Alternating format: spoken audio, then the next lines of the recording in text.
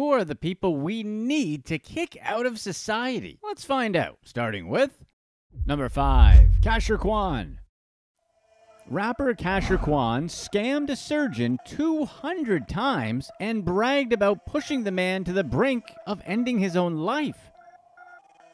The Detroit rapper appeared on an episode of the Say Cheese podcast where he talked about how he ruined this guy's life for no apparent reason. For his scam, Quon had somehow got his hands on the surgeon's social security number. Then, every time the guy would get paid, Quon would call him up and pretend to be an IRS agent, then demand money. Sometimes the surgeon would respond that he was in the middle of surgery, but Quon didn't care. He forced the doctor to get the money immediately or threatened that the IRS would be after him in a bad way. Quon explained that the man was making $2,500 a week and that he had the surgeon wrapped around his little finger. The scam ended up ruining the medical professional's life. His marriage broke down, and he fell into a dark place psychologically. Quon was stealing all of the doctor's money, leaving the poor man feeling so helpless that he couldn't take it anymore. So the surgeon attempted to end it all and sent Quon a picture of himself in the hospital. Quon, whose discography ironically contains albums titled Scam Jesus and Scam Likely, broke down every part of his two years of deception, rightfully infuriating listeners. People called him out for doing something so messed up and acting proud of it. The clip went viral, with even his own fans being disgusted with him for acting like what he did was some kind of achievement. He posted on Instagram whining about the backlash he received, claiming that everything he did to the doctor happened a decade ago when he was 15 years old. Sure, we've all done stuff we're not proud of when we were teenagers, but to drive that man to the brink of ending it all, there's really no excuse for something like that. Quon went as far as to say that he dealt with bad karma for his actions and clarified that he had said in the interview he regretted it, so people should leave him alone. What's even dumber is that there was no reason for him to talk about it on the podcast. He just wanted something to brag about. What do you think about this guy? Do you even believe that a 15 year old managed to scam a doctor for two years and take all his money? No one has been able to get the identity of the supposed doctor he was scamming. Or do you think he was just going for some street cred and his boasts were all fictional? Let us know in the comments. Number 4. Starbucks.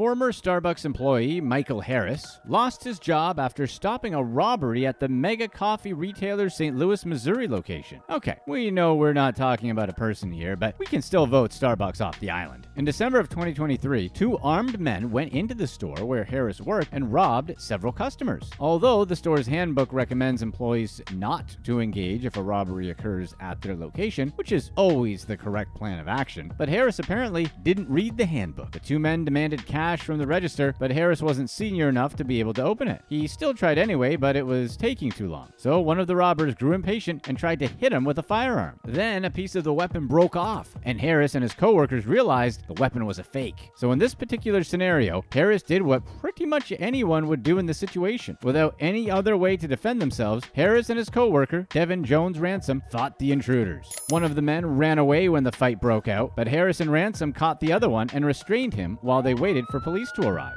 Weeks after the incident, a Starbucks higher up called Harris to tell him they were letting him go. Harris sought legal representation from the Krupp Law Firm LLC for wrongful termination. Although Starbucks handbook states that employees shouldn't do anything to escalate a situation, Harris was in an impossible situation. He complied with the robber's demands until he, his coworker, and customers were in danger. At that point, he did what he could do to defend himself and those around him. Starbucks released a statement to Fox Business where it reiterated that safety is a top priority and that its training teaches employees to comply and de escalate to keep everyone safe. And that's the right policy. Your life and physical safety should never be put at risk for a company that doesn't care about you. However, what was Harris supposed to do when the men attacked him? Starbucks is in pretty hot water over this, as they should be. So, what do you think? Should we boycott the company and get our caffeinated milkshakes elsewhere? Anyone like coffee, bean, and tea leaf?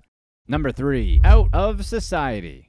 TikTok banned a viral prankster who did dangerous stuff like starting trouble with McDonald's staff, riding a fire truck's roof, and throwing broomsticks off the top of a skyscraper. The TikToker, whose username is Out of Society, gained tens of thousands of followers and millions of likes with his dumb antics. One of his more obnoxious posts involved McDonald's staff. Out of Society went to a location and snatched a broom from an employee. He then rushed into the kitchen and placed the brush in the deep fat fryer potentially ruining a ton of McDonald's fries, which is a crime on its own. A worker managed to get it out, so the prankster got it again and threw the broom across the dining room and sprinted out of the fast food restaurant, shoving staff out of his way as he left. The TikToker wore a balaclava and changed his voice to conceal his identity because he's just so slick. In another video, Out of Society documented himself standing on top of a skyscraper and launching two brooms over the edge, causing them to drop to the ground from hundreds of feet feet in the air. The account also posted a clip from the top of a fire truck and riding on its roof. Three young men were involved in the incident, and when firefighters tried to get them to jump down, they refused, telling workers to shut up. Police arrested the three guys over the incident. However, it didn't slow down the popularity of Out of Society. Since December of 2022, it received 10 million views and 1.6 million likes. While some users loved Out of Society's content, his actions didn't impress everyone. Many slammed the social media platform platform for letting someone like Out of Society get famous by scaring and harassing people trying to do their jobs. In 2022, TikTok carried out an initiative to remove content that violated community guidelines before anyone needed to report it. As a result, the platform removed 96% of content violating its guidelines, which is a step in the right direction. Although TikTok didn't catch Out of Society's content until people reported the user, it removed the account as it depicted dangerous acts that could have caused significant harm to the people people involved. So TikTok did the right thing. But with this kind of content being so popular, they still need to remove many more accounts. And like, look, we're good with pranks, even when they're upsetting and annoying. But there's a difference between a prank and just being an annoying jerk. If you're enjoying this video, be sure to stay tuned right here for our past release to find out the craziest tactics these ladies will do to smuggle out a watch.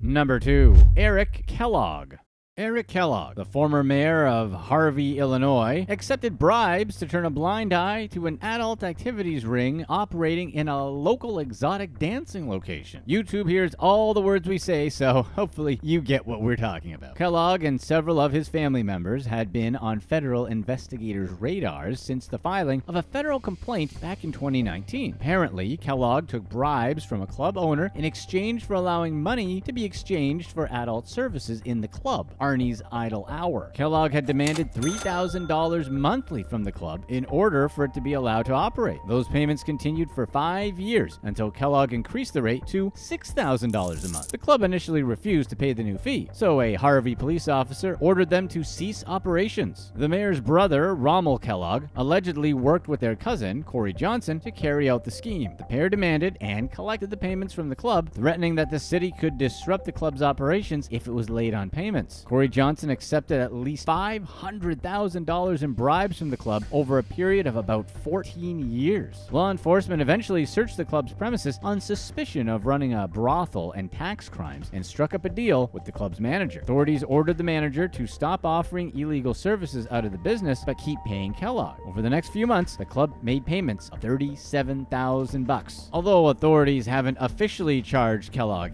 yet, his brother Rommel was found guilty of five counts counts of conspiracy and theft by intimidation. Police also arrested Johnson, who collected and delivered the bribes to Kellogg. Since he pleaded guilty for his role in the operation, prosecutors are seeking a prison sentence of six months or less. It may seem pretty crazy that a mayor would be acting like this outside of a TV show or something, but Kellogg's antics are pretty tame compared to what Kwame Kilpatrick, Detroit's former mayor, got up to. For a deeper dive into possibly the most corrupt official ever, check out this link for a deeper dive. Number 1. Cambria Gabrielle Darby. Cambria Gabrielle Darby compared herself to Jesus after police arrested her for taking her son shopping in a diaper while he violently shivered. This Mississippi mother took her two-year-old boy on a shopping trip at her local Walmart in January of 2024. A winter storm had swept through the area and temperatures were below 20 degrees, but the child wasn't wearing socks, shoes, or even a jacket. So, of course, other shoppers and employees were flipping out watching as the toddler shivered in the freezing cold. One shopper actually bought him a long sleeve shirt and pants, and he still shook after putting them on. So thankfully, someone called 911 since this is a pretty clearly terrible decision, and police arrived at the scene. Officers took the boy to sit in a warm car while they waited for paramedics to reach the location. Once medical workers arrived, the police turned their attention to Darby and arrested her. Child Protective Services took the child along with his two siblings. Police took Darby into custody, and after posting bail, she compared her situation to the suffering of Jesus. In a delusional 656 word Facebook post, Darby defended her actions and posted over 50 pictures to prove she was a good mother. The images included a trip to Disney World, her children posing with presents under a Christmas tree, and the family sitting on pumpkins at a farm. Her list of things that she felt proved she was a good mother included taking them on vacations, buying them expensive clothing, and signing them up for sports. She also listed things like taking them to Disney World for a VIP style experience, going on plane rides, visiting indoor water parks, and elaborate holiday celebrations. Holidays were supposedly so magical for her children that they believed in Santa Claus, the Easter Bunny, and Cupid. Bizarrely, she added that her children never wore the same outfit twice and that she frequently bought them designer clothing and new shoes. So, why was her son only wearing a diaper if that was the case? Darby added that she had pictures of every meal she had ever cooked for her children and that she hadn't been able to eat since CPS took them away from her. She revealed that people had called law enforcement on her twice before, but fought the notion that she was a neglectful or mentally ill parent, referring to the accusations as defamation. A viral video showed Darby fighting with the shoppers who confronted her while she refused to give her son anything to wear. One woman draped a jacket over the toddler as his teeth chattered. A man yelled at her while she grabbed items off the shelves and threw them into the cart, narrowly missing the child. People pointed out that she forced her son to shop almost without any clothes on while she was fully clothed. Remember, this woman thought her plight was as bad as Jesus's, so she was never going to be remorseful about the situation. A Walmart employee, Felicia Nicole, lost her job over the incident when she posted a video of the boy online. If convicted, Darby faces up to six years in prison. It's totally delusional for Darby to claim she's a good mom. We don't care how many happy pictures she posts. If she's sending a two year old in 20 degree weather wearing only a diaper, pants, and a shirt, for those of you who don't have kids, you may not know, but kids that age have very little body fat, so staying warm can be an issue for some of them. And bundling them up when it's cold is extremely important. And it's not like she didn't know because that's not her first kid. So now she wants to compare herself to Jesus. Well, judging from the response online, this is the only time she's right in the sense that she's getting a ton of backlash.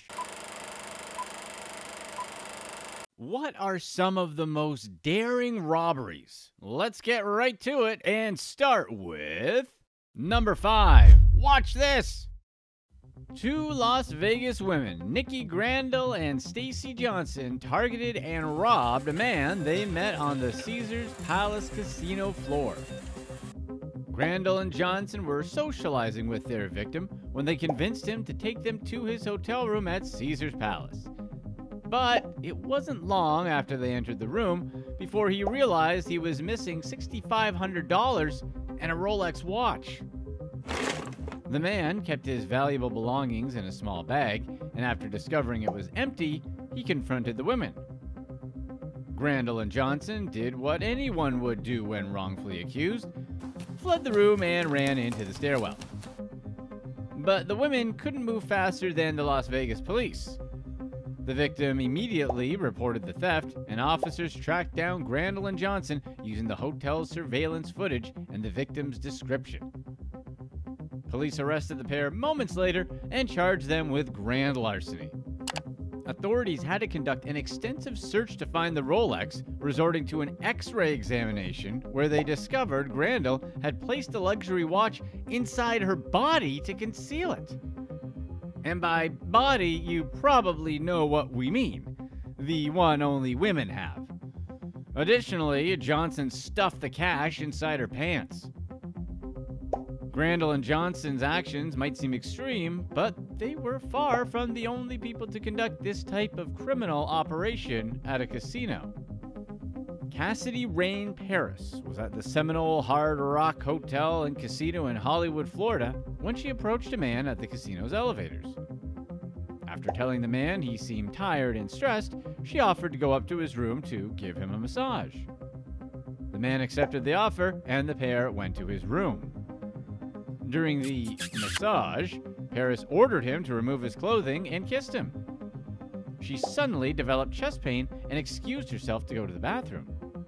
Within minutes, the victim heard his room door close and discovered his belongings were missing. Paris stole a Patek Philippe watch worth $50,000, 10,000 bucks in cash, and $6,100 in poker chips. Paris's scheme was well thought out. After luring the man to his room, she used a diversionary tactic to distract him so she could rob him. Except she underestimated how easy it would be to track her down. Similarly to Grandel and Johnson, surveillance video captured Paris sprinting down the hall and driving away in a red car. Police located the GPS tracker on the red car she used to flee the scene. They apprehended Paris four miles east of the casino at a Days Inn motel and charged her with a second degree felony for theft. So wait, we can't just trust any random women we meet named Nikki, Stacy, or Cassidy? Number 4. Gourley's 5. A gang of five robbers carried out a jewelry heist at Danielle Jewelers in Birmingham, England. The gang stole a highways maintenance truck and smashed it into the storefront, narrowly missing a staff member. Three of the four robbers pulled a smash and grab. They barged into the store and smashed glass display cabinets with sledgehammers, then grabbed the jewelry and stuffed it into their sports bags. The fourth gang member stayed in one of the group's three vehicles, with the fifth kept the crowd at bay, waving an axe. The gang used a black Land Rover Discovery, a white Toyota Hilux, and a black Toyota Corolla for the raid. They parked the Land Rover and Toyota Corolla to block both sides of the ride of the jewelers and reversed the Hilux into the store. The five men fled the scene in the Land Rover and Hilux, abandoning the Corolla at the scene. Surveillance footage caught the group leaving the vehicles nearby and climbing into a stolen Audi TTS and a BMW 420. Despite spending weeks planning their operation, security cameras captured the entire robbery, and many concerned onlookers watched it occur. The ringleader, John Gourley, attempted to sell a stolen bangle for $1,850 at Birmingham's Jewelry Quarter two hours after the raid, three miles from the jewelry store. Unfortunately for him, surveillance footage captured the entire interaction. Detectives used surveillance footage from nearby businesses and a witness's cell phone footage. They linked Gourley to the robbery by his fingerprints on the store's sale sheet. Another member, Hassan Zulakar, bought tape and pads at a nearby auto parts store, which he used to put false number plates on their getaway cars. Authorities discovered he stole the Land Rover after they recovered backings to the pads that Zulakar left inside the vehicle, which were covered in his fingerprints. Additionally, they tied the rest of the group to the theft through fingerprints, clothing, and tags from the stolen jewelry they found in one of the members' homes. Officers arrested all five members of the group and charged them with conspiracy to rob and possess an offensive firearm. Birmingham Crown Court conducted a four week trial and found the group guilty. Their sentences ranged from 16 years to 12, reaching a combined total of 72 years. See, this is what happens when you get pulled in for one last big score. It never works. Number 3. King Crab. David Sabile is accused of conning seafood distributors out of hundreds of thousands of dollars. Allegedly, Sabile pretended to work at a grocery store and created fake email accounts to make it seem like they belonged to multiple Safeway grocery store employees. He used the accounts to deceive Arctic Foods, a San Francisco seafood distributor, out of $700,000. Sabile used a false name and fake trucking company to plan two pickups and had rental documents that tied him to the trucks. After collecting the second shipment of crab, the owner of Arctic Foods reached out to Sabile to discuss being overcharged. When the owner couldn't reach Sabile, they contacted Safeway, who revealed Sabile was not employed by them. The distributor owner informed authorities of Sabile's actions, who began to watch him. Sabile planned another shipment, but employees loaded cheaper seafood rather than king or snow crab into the truck. Police pulled over the truck driver and arrested him on counts of forgery and possession of a fraudulent bill. They found crab from Arctic Foods that matched one of Sabile's alleged shipments being sold below market value in Florida. When Sabile coordinated a fourth shipment from Arctic Foods, authorities placed position tracking devices on the packaging. The shellfish ended up at a junk removal service in Florida, with Sabile likely unloading the product when he realized it wasn't king crab. Sabile booked a one-way ticket to Colombia, but Miami police arrested him before he could board the plane.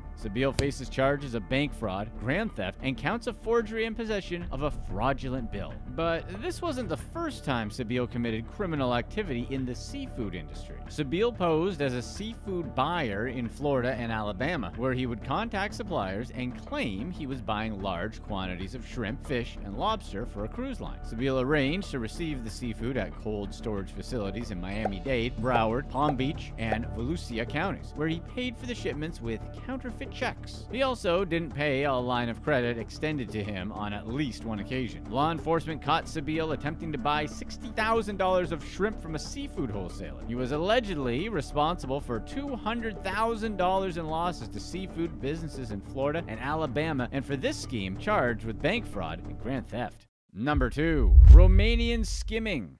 The Riviera Maya gang specialized in skimming ATMs and stealing from tourists in Playa del Carmen and other nearby tourist areas in Mexico. The gang used skimming devices to obtain their victims' credit card information and copied their details onto blank cards to withdraw cash from ATMs worldwide. They likely began operating in 2012 and have targeted thousands of tourists. Florian Tudor is the leader of the Riviera Maya gang, which has around 1,000 members. He's a business businessman from Craiova, Romania, known as El Tiburon, or the Shark, among other gang members. Romanian authorities believe Tudor ordered fellow gang members to threaten, blackmail, beat up, and even bump off the gang's enemies, including former members who fell out with him. ATM skimming involves stealing credit card information by placing a skimming device on the machine that reads the card's magnetic stripe when inserted. Criminals use the information to create cloned credit and debit cards, which they then use to withdraw money and make purchases. The Riviera Mayan gang took ATM skimming up a level, buying ATMs from well-known manufacturers, hacking their processors, and installing custom-designed software to steal bank card data. Their operation was far more sophisticated than the average criminals. They waited months before withdrawing money from compromised cards and almost always used them in ATMs far from where they were stolen or where the victims lived. The gang skimmers and poles operated worldwide, from India to Barbados to South Korea to Brazil and everywhere in between, making it almost impossible for victims to connect a theft to their Mexican vacation. Tudor and his stepbrother Adrian Anichescu set up Top Life Servicio company in Cancun that gave the gang the appearance of legitimacy while covering their criminal activities. Quickly, the gang decided it would skim more effectively if it had its own ATMs. So they went out and purchased some from well-known manufacturers like Triton and Hyosung. They hacked their ATM's processors and installed custom-designed software to capture card data. Additionally, the gang had an agreement with Multiva, a respected Mexican bank, to brand their ATMs with the bank's logo. Top Life operated over 100 Multiva branded ATMs across the Riviera Maya and other popular tourist locations in Mexico by 2017. Wealthy tourists use those machines daily, innocently sticking their credit or debit cards for their information to be stolen. Each machine copied roughly 1,000 cards monthly, from which the gang would withdraw $200. Combining all the machines they operated, the gang's monthly income was $20 million. Top Life invested the money in Mexican real estate, such as the construction of their headquarters, a multi-story villa with a rooftop swimming pool, and an elevator built on land in the prime area of Cancun. Under Tudor's leadership, the gang laundered the funds. Most of Tudor's aides were Romanian and would withdraw small sums from stolen cards in Mexico, then send the money to Romania in cash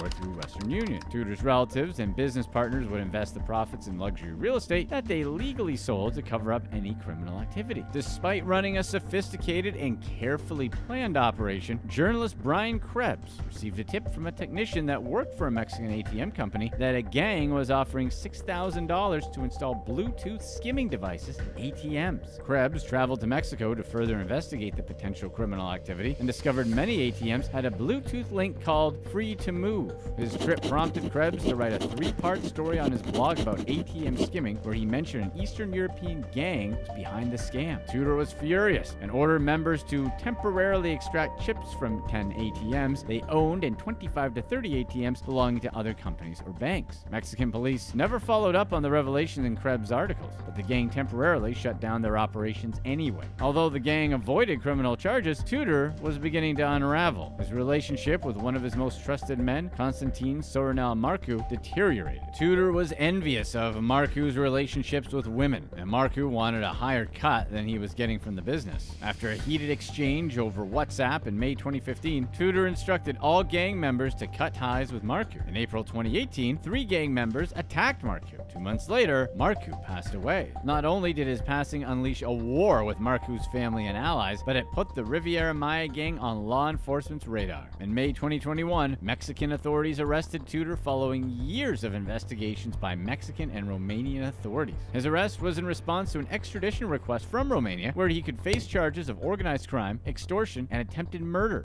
Number 1. Partners in Crime Husband and wife duo Emmanuel and Kara Williams committed bank robberies in Florida and Alabama between December 2012 and November 2013. The couple made little effort to cover their tracks, using similar methods in each robbery. Emmanuel would enter the bank wearing an afro wig or a hat and pass a note with block lettering to the bank teller, demanding money. The pair robbed 15 banks within a short time, with seven of those robberies occurring between December 2012 and February 2013. Six more robberies happened between August August and October 2013, and at least two being only a few days apart. The amount they took ranged from $1,623 to $8,438 per bank, and their net total was $54,750. Onlookers and surveillance cameras caught the couple driving away in high end sports utility vehicles. In an August 28th robbery, a nearby business's security camera captured Emmanuel getting into a black 2011 Mercedes Benz GLK 350. Another camera filmed them using a white Mustang In an August 22nd robbery. Using flashy cars and crimes? Wonder if that'll blow back on them. The FBI linked both vehicles to Kara Williams after requesting video from the Florida Department of Transportation Turnpike Authority to track the license plate number of the Mercedes to her. FBI agents conducted physical surveillance of the couple's Tampa apartment where they had a front row seat into the duo's operation. There was a breakthrough in the case after the couple targeted a mid-Florida credit union, after which FBI agents tracked Emmanuel's cell phone activity to link his location location to cell towers during the dates and times of the couple's crimes. They also used his social media photos to identify a scar on Emmanuel's left thumb, which he covered with a cloth on his hand to hide from the cameras in bank surveillance videos. Ten days after their first bank robbery, Kara gave birth around December 15th, 2012. At the time, Kara was on maternity leave from her job at JP Morgan Chase Bank. Kara also took sick days corresponding to bank robberies in Tampa and Auburndale. The FBI's investigation into the couple uncovered the couple's criminal activities,